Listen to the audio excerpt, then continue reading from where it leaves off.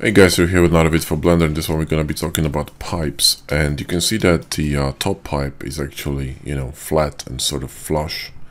You know, this uh, top bit is straight and this one is kind of bent.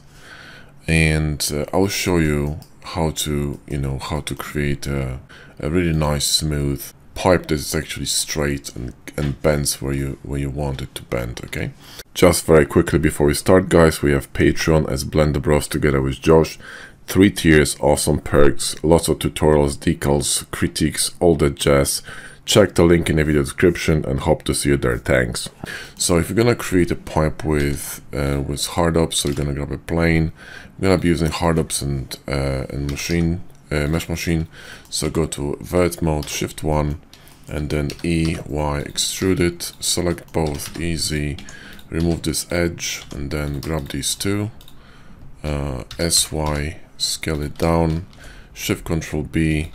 Apply scale with control A. And then we're going to um, go to mesh tools and curve extract right? And S for smoothness. Now shift D Z to the top.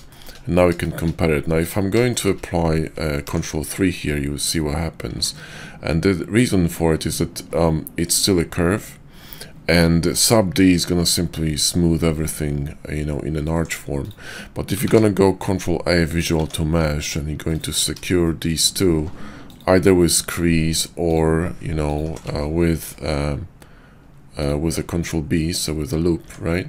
And go control 3 boom you got the straight pipe.